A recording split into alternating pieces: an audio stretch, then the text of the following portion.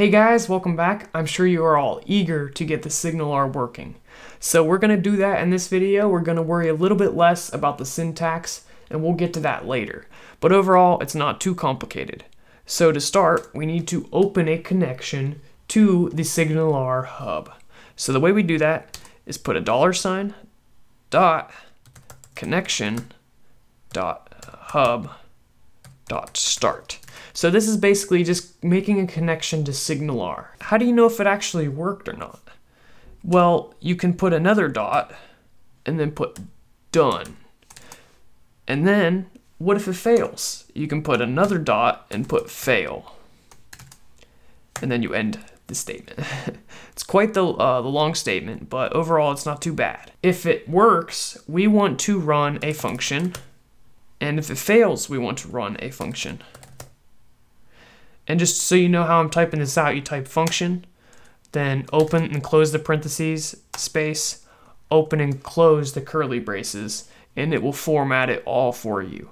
So just make sure you got the syntax exactly right because JavaScript is a little more uh, quiet about errors. Whereas C Sharp, it won't even compile. JavaScript might not say exactly what you're expecting, and it might not do anything at all. So just make sure you got it exactly right. Now, basically, this is going to open a connection. If it works, it's going to run this function, and if it fails, it's going to run this function. Well, right now, these functions aren't doing anything. So where do we tell the functions to do something? Well, we always tell the functions to do something inside of the curly braces. So what we're going to do is do what's known as a console log. So put console.log, and this is a method. So what you want to do is just pass in some data. Pass in a string such as, it worked. And there's another way we can show data, and that's using an alert, which we talked about in the last video. So within here, you can say error. All right, so why did I choose to use a console log when it worked, but only an alert when it failed? Well, the difference between the two is that a console log is a little more quiet and subtle. For example, if it works, we don't need to make a huge announcement, hey, it's working, and make a little box pop up on the screen. That's not what we want to do. But if it's failing, it's more of an issue. In that case, we probably want to make a pop up. So I just changed my browser to Microsoft Edge because that's the browser I'll be using. And now let's give it a run and see how it works out.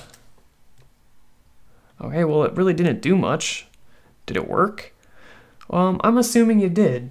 That's because a console log, the only way you can see it is by right-clicking and going to Inspect Element. And then right here, there's this little console button. That is going to show us our console. Let's give it a quick refresh. And it worked! yes! Only like 15 or so videos in, we finally connected to SignalR. So it's been uh, quite the adventure. That's all for this video, and we'll continue this process in the next video. Thanks guys, and I'll see you then.